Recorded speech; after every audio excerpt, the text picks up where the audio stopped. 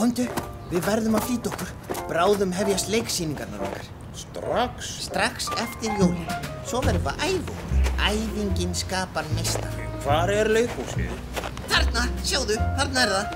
Vá, það er rosalega stórt og flott. Já, og nú þurfum við bara að finna kúluna. Barnaleikus þjóðleikusins. Það verður dundur gaman litla skrimsli. Sjáðu, þarna er mynd af okkur.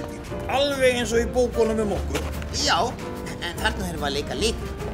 Jæja, nú skulum við drífa okkur. Já. Stóra sjöfli. Já, komum inn að leika.